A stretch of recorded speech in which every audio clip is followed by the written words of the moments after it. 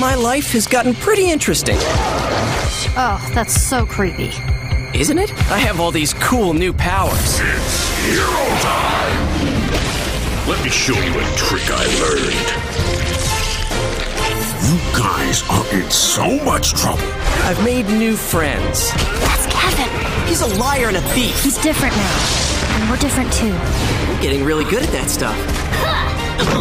My grandpa's gone missing. You'll have to take it from here. I know you can do it. I believe in you. In all of you.